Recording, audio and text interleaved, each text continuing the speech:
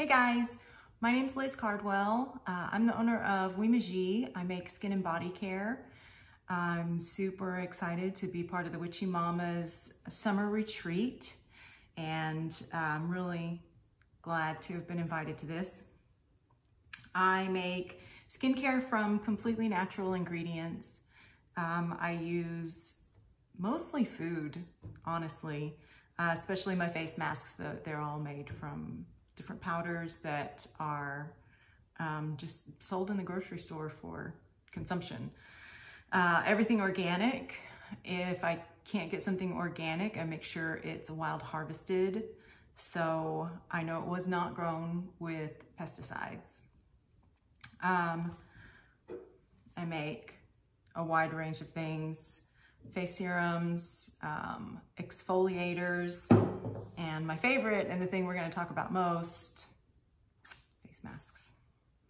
And the reason I like to talk about face masks is it's something that even if you don't have um, a supply on hand of, you know, pre-made masks, it's so easy to treat your skin well uh, just with things that you have around your home. And one of the things that I feel is really important in skincare is setting your intention. Um, I'm a Reiki master, so I do Reiki everything that I make, and I just set a blanket intention that my products are going to perform better than you expected. And it seems to work. So I highly recommend that no matter what skincare you're using, or if you're just gonna DIY something in your kitchen, um, set the intention. And it doesn't have to be a big fancy deal where you're making sigils or, you know, channeling energy. Um, you can just tell it what you want it to do and mean it. And it will. Makes a huge difference. So one of my favorite things about um, all my face masks are powdered since I don't use anything, anything synthetic. Um, I also don't use water in any of my products so that I don't have to use a preservative. So everything is powdered. And when you get it, you will just mix it as you go. Um, this will go a long way because you only need about a teaspoon of powder for each face mask. So one of the things I really like to do is while I'm mixing it, I'll just have like these thoughts in my mind of warmth or, you know, the, the good feelings, like really bring that feeling up and try and dump that in as I'm mixing it. So it's a spell. It's totally a spell. And it's a lot of fun to bring more rituals, you know, into day-to-day -day life. And it, it, to me, it makes a huge difference. So let's talk about um, a skincare routine. A lot of people ask me, what is my skincare routine? And it's so simple. Um, I will use an oil cleanse. So I make an oil cleanser um, as one of my products, but honestly, you can use, I really recommend oil over anything. Please don't use coconut oil. Um, I know a lot of people can handle it well, um, but the oleic acid content will disrupt your acid mantle and that's what protects your face from any bacteria or anything like that getting in. So if you use coconut oil and you don't have any problems, okay. But if you've been thinking about it, I want you to try something else instead. Um, my favorite from something that you can just buy at the grocery store is hemp oil.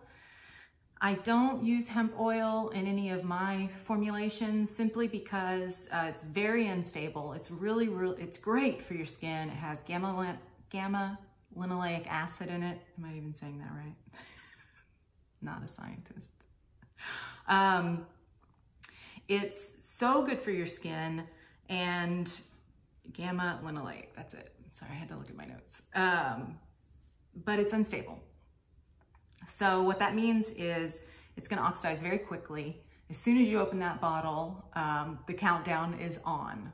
So um, the oxygen molecules will go in, they'll disrupt the stable molecules of the hemp, cause everything to go haywire, and now you're making oxidation and you don't want that on your face. You want the opposite of that on your face. So buy it at the store, um, buy a small bottle and uh, keep it in your fridge. That's the, and you be sure you use it up in six months. It's not like as soon as you open it, it's gonna go bad. You got six months. So as long as you're buying a small bottle, you should be able to do just fine with that. So the first thing I do if I'm wearing makeup, um, I'll oil cleanse. So that means I might spritz my face with a little bit of water and then um, just put some oil in my palm, rub it together, warm it up, say your spell, and then just massage, massage all around. And especially in the eye area, I might do twice if I have on mascara. So then just take a warm rag and wipe it off. If you want, you can lay the rag on your face for like 30 to 60 seconds. That takes forever. That's, that seems like, oh, that's not very long at all. But when you're standing in your bathroom, it takes forever. So do it if you, if you can. And if not, that's okay too. The added benefit of doing that is it will really get the steam from the hot water to loosen up because the oil is going to go into your pores and attach to any grime or an old oil and stuff like that that you want to get rid of. Um, so it'll really open everything up and just allow you to lift a lot easier. Um, the great thing about using a wash rag, you don't want one that's too soft or too coarse because that exfoliation is incredible. That's really, um, if you're exfoliating every day, you're gonna see a huge difference in your skin and just something as simple as that counts. So I'll do that uh, only once if I haven't worn makeup. If I've worn makeup, I usually do, I'll usually do it twice just to be sure. And then uh, once a week, at least, maybe twice a week, I'll use uh, a physical exfoliator. So like this product has um, hibiscus powder and blueberry powder. It's so lovely. It's this beautiful deep red and very, very, very finely milled rice powder. Um, I hold that all to the reason it's uh, like a paste is because I hold it all together with glycerin. So glycerin is a humectant, which means it will pull water into your skin. You have to be careful using glycerin or using any kind of a humectant because if there is no, if you leave it on your face and there's no water in the air, it will actually pull from your skin. So I like to use glycerin in this because then you, you wash it off. So you let it work for a minute. You can leave it on for 20 minutes if you want. There's no clay in it. It's not gonna dry out your skin. So rinse that off. You get the chemical exfoliation from the alpha, alpha hydroxy acids in the hibiscus. And then uh, also the physical exfoliation from the rice and even the hibiscus and the blueberry will give you a little bit of physical exfoliation. So that's something you can leave on, do it once or twice a week. Um, you can do a face mask every day. I used to just leave one of these jars by my kitchen sink. And every morning I'd get up, make coffee, dump some of this into the palm of my hand, mix it up at the kitchen sink, put it on my face, pack my kids' lunch for school. And by the time I got done getting all that, I'd had it on for about 10 minutes. 10 minutes is really all you need because you don't want to let a face mask dry, especially if it has clay in it. Um, some of my masks have clay and some don't. And the ones that have clay, it's there for a reason. Like but you, you still wanna be careful. Don't let it dry because again, it will pull moisture out of your skin. So, and also another big misconception is that they need to be two inches thick. You don't need a really thick layer of face mask. If it's just watercolor consistency, that's that's fine. It's still, your skin's still gonna drink it in. It doesn't, it just, it's a waste if you do it really thick because that outer layer that's sitting on top isn't even touching your skin. So think of it that way. Um, and you can do them every day. You can do, I think it's the single most effective thing you can do at home to improve the look of your skin. Um, I try and do it probably three times a week and I don't have a schedule. I still leave a face mask by the kitchen sink and whenever I've got the time, I'll just dump some in my hand and put it on. It's usually in the morning. I really love a face mask in the morning because you're just, you're putting this beautifully fed and tended to face out into the world. So do them at night if that's convenient, but if you can do a face mask in the morning, it's just a great start to your day. And again, a little bit of intention goes a long way. So mixing a face mask, all of mine are designed to, to be effective just being mixed with water. That's all it takes.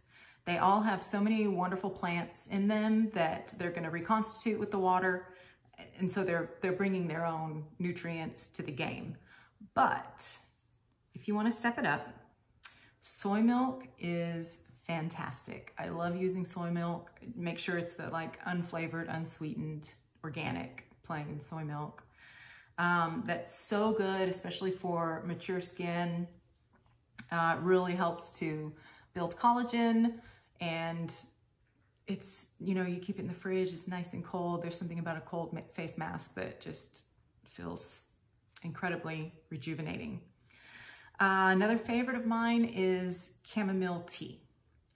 So um, I grew up on the coast in the 70s and we didn't wear sunscreen. So I grew up with a lot of like just setting the course for a lot of sun damage.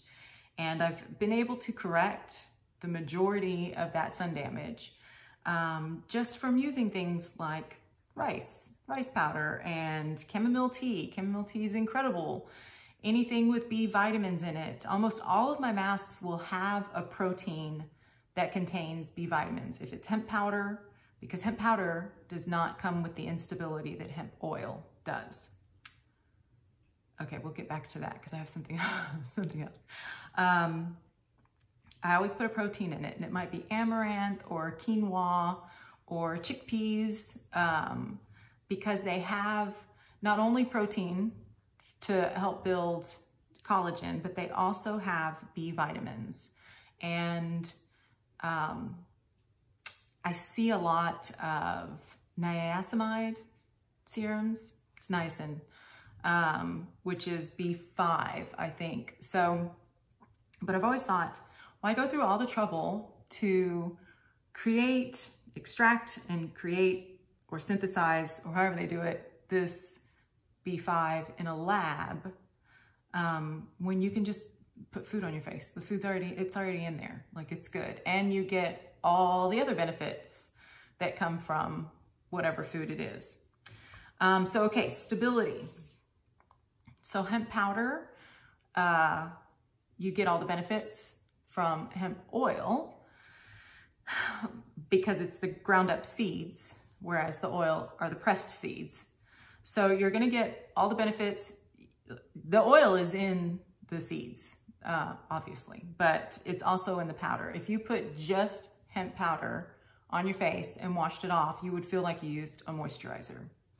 So Another big one is vitamin C.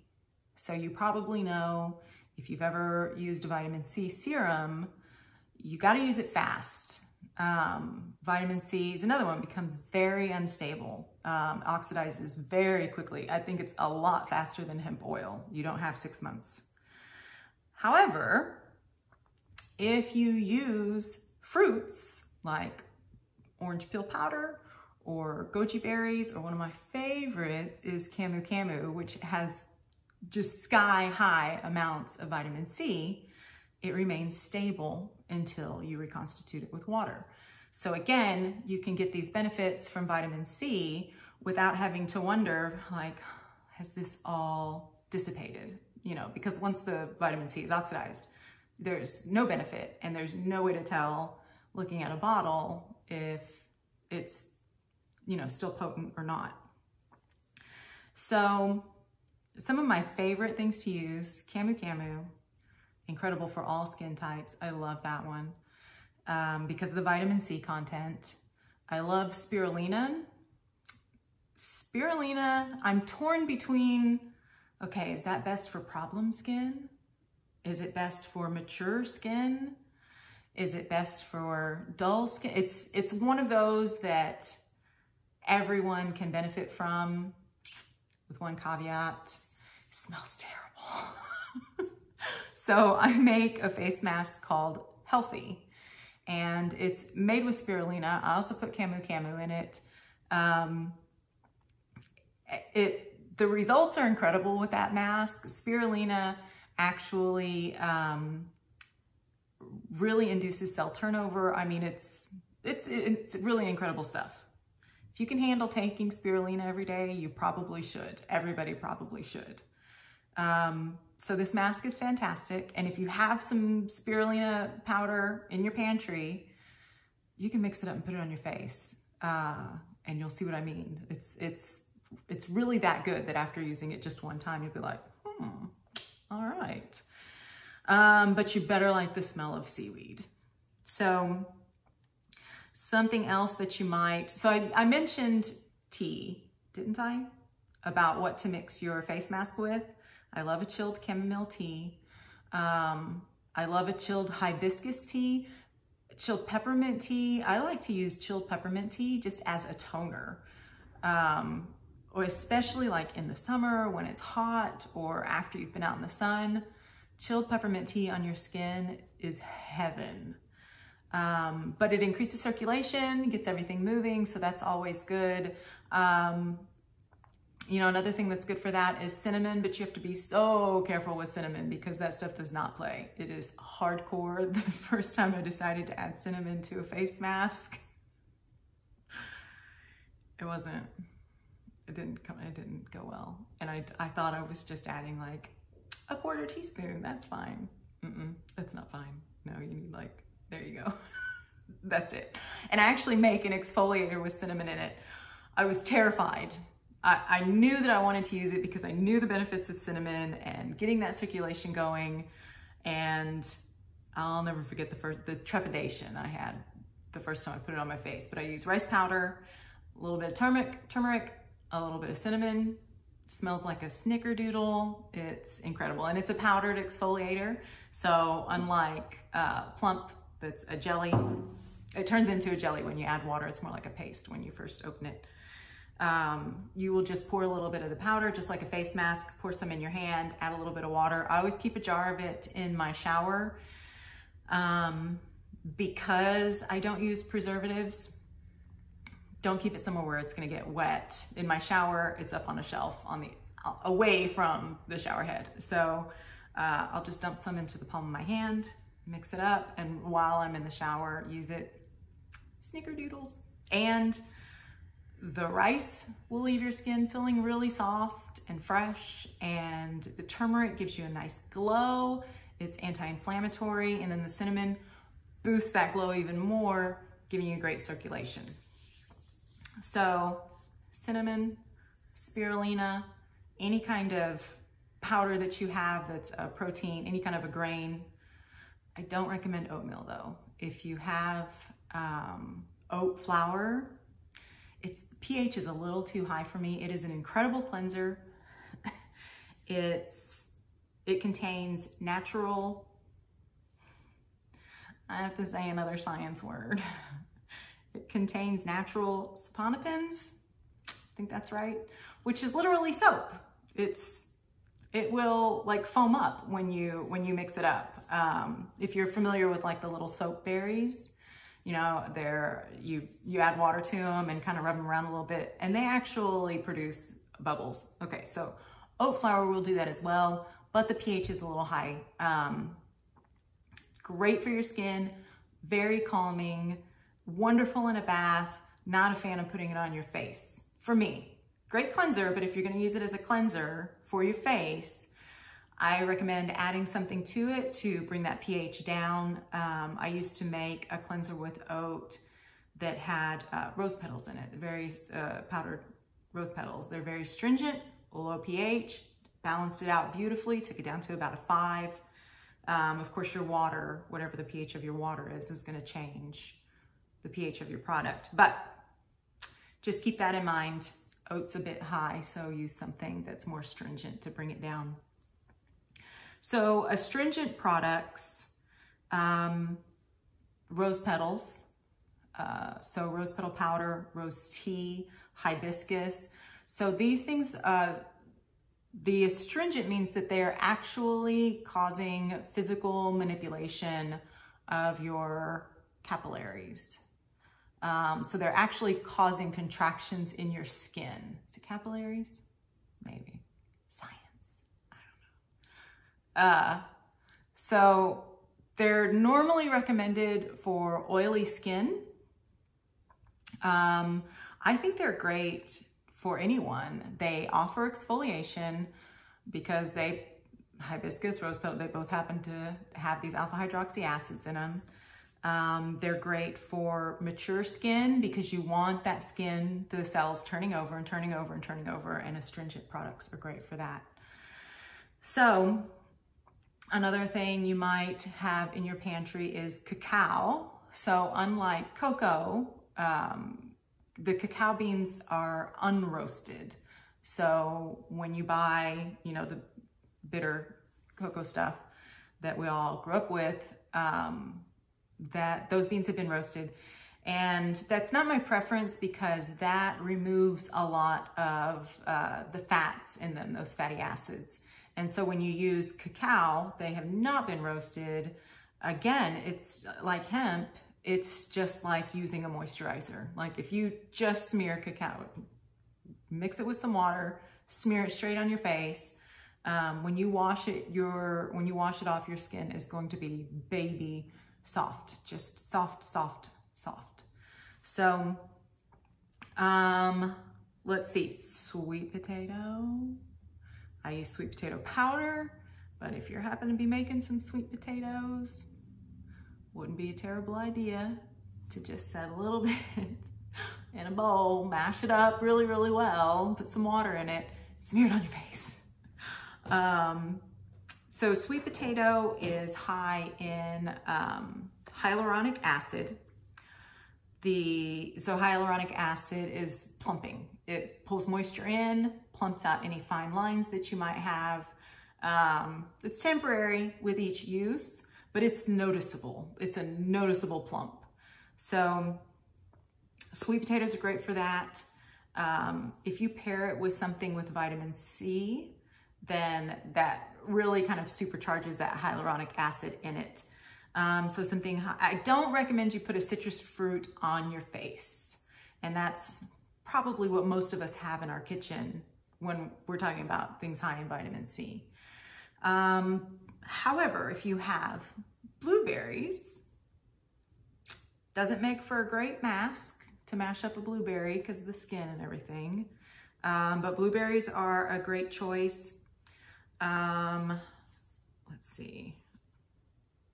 What else is high in vitamin C? Don't put jalapenos on your face. Sweet potatoes are fine alone.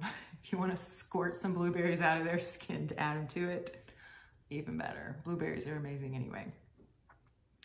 Um, let's see. Matcha. Have I talked about matcha? Sometimes we've got that laying around. I have, uh, I make a face mask that's really targeted for problem skin. It has matcha and hemp and also sulfur. Um, sulfur, I, I use, most of my products, I'm like, don't process it. I want as little processing as possible. Uh, sulfur is the exception because sulfur itself does not actually smell bad, um, but it's always found with another molecule bound to it. Don't know what it's called. Um, and that's what actually has the smell. So the sulfur that I use has been processed again to remove the stink molecule from it. Sulfur is so, so, so good for your skin. It's so good for your body. Um, so this mask that I use with matcha, uh, since sulfur can be drying, which sometimes is what you want. I love using um, the mask that I make with sulfur and matcha in it is called Clear. And I love using it as a spot treatment. That's how I really recommend everyone use it. It's incredible for bug bites. Mm, so is this one, by the way. This Recover has uh, activated charcoal in it with uh, rose petals. It's got cacao also. Incredible, uh, incredible for bug bites. So mix it up really nice and thick, like I don't normally recommend put it on the spot that you need it or on the bite or whatever, and let it totally dry. It's the only time I'll recommend, recommend letting a mask totally dry. Works like magic. So to counter the effects of the sulfur being drying, um, I add hemp, which like we talked about, has comes with its incredible oils. And I also add matcha because of its ability. It's so incredibly packed full of antioxidants and it's very calming to the skin. So like for any type of redness or irritation. So that comes in really handy also if you have problem skin. I don't expect you to have sulfur laying around. I don't know why anyone would have sulfur laying around, but it's magic. Um, and it's very antibacterial. The clear mask, you can absolutely use it all over your face. Absolutely. The majority of my customers that are addicted to that mask do use it all over. but it's just kind of an added bonus when you can use something as a spot treatment as well. Um, sandalwood. I love sandalwood. You're not going to have it in your kitchen, but I want to talk about it anyway. Uh, I get my sandalwood from Australia. It comes only from felled trees, so they're not, you know, growing them to be turned into this powder. It's a small company that I get from. I love them. I love them. They're so great. And so it's sustainable. And sandalwood, um, so all wood is just naturally antibacterial. Um, if you have a wood cutting board untreated, you know, mix it like once, once it's got a sealant on it, you're not gonna get the benefits of the wood. Um, but if you have uh, an untreated wood cutting board and you were to cut a bunch of stuff on it and then just leave it overnight, um, it would have far less bacteria. I mean, it, they'd be, it'd be almost totally gone compared to a plastic one, which would be flourishing. Um, so it's just what wood does. It's just a natural thing that it does. so if you have problem skin, um, sandalwood is amazing. Um, it's, it calms redness and uh, brightens your skin. It, another one that has a bunch of oils in it. So it's also really good for softening your skin too. But it's kind of been used forever as a skin brightener. And uh, aside from that, the antibacterial is just incredible in it. Um, let's see, what else might you have in your home? Oh, if you use any mushroom products, I know a lot of people have different powdered mushrooms in their pantry in place of coffee or just as a supplement. Uh, amazing for skin. So reishi is one of them. Reishi is probably my favorite. Um, oyster, I think it was oyster, is actually one of the best for um, anti-aging. Reishi is just packed full of goodness and, uh, you know, it's anti-inflammatory. Um, it's, since it's an adaptogen, it will actually like seek out damage. It's, it doesn't have one single target. It will just kind of um, do what needs to be done. So I love reishi for that. Um, I'm gonna go over quickly some of the other foods that I use in my masks. Uh, blueberry, cacao, camu camu, hibiscus, lucuma. You might have that because you can buy that at the grocery store as a sweetener. It's very high in beta carotene, So, which is vitamin A. Um, but it's not, you know, when you use um, like retinoids that are really concentrated, that stuff burns. Like it's, uh, can't handle it. But something like lucuma, you're gonna get the benefit of that beta carotene, super gentle. It's not gonna burn your skin. It's wonderful. So I like using that. Matcha, orange peel, high in vitamin C. Um, it's mildly exfoliating, so I really like it. I use it in my face mask called Bright because that's what it does. It just brightens you up. Um, peppermint is good. I wouldn't put like a peppermint tea bag straight on my face. It might be a little too tingly, but I love it as a, uh, as a tea. Um, rose petals, sandalwood, spirulina, sulfur, sweet potato. There's probably more, but these are a few of my favorite things. And if you have any of them in your kitchen, make your own face mask. Um, putting food on your face is amazing. E even bananas are great for your face. I just really can't handle that consistency. That I was, and I've even tried to use banana powder, um, but two, I had two issues with it. First of all, it was very difficult to find just freeze dried powdered bananas because a lot of times they'll spray them um, and I'll add anti-caking. None of my ingredients, uh, I always make sure they do not have anti-caking. They have not been spray dried. Um, so that was an issue with banana. I did find some that was just powdered banana and the consistency was like, I couldn't, I couldn't handle it. Very high in potassium which is great. You want that. That's great for dry skin. Super high in potassium. But you know what else is? Else is uh, coconut water. So just use organic, plain coconut water and you can wipe it on your face. Don't leave it on because it is sticky, but you can wipe it on your face um, and leave it on for a while and then rinse it off and then follow it with a serum. Um, or you can mix your face mask with it to give you that boost of hydration. It makes a huge difference. The coconut water is no joke. And so after, after you're exfoliated, you're oil cleansed, you're exfoliated, you're masked, if you're masking that day, um, after that, I'll follow with the serum. And I usually use the same serum day and night. Um, when I get up in the morning, I'll usually just wipe my face with a warm rag, put some serum on. Not too long ago, I had run out of serum.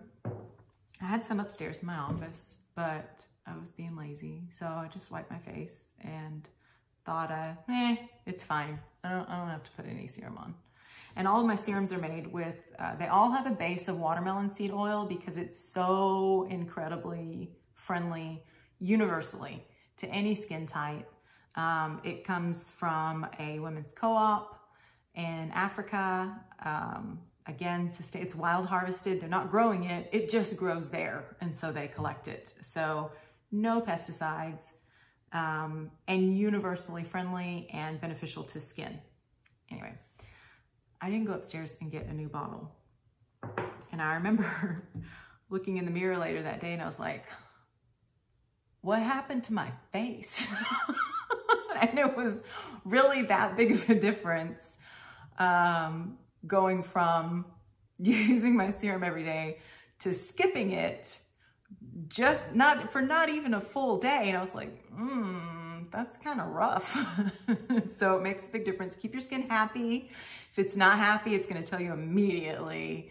And once you see how it looks happy, um, you're never going to be able to go back. So take care of your skin, do your rituals, um, keep it simple.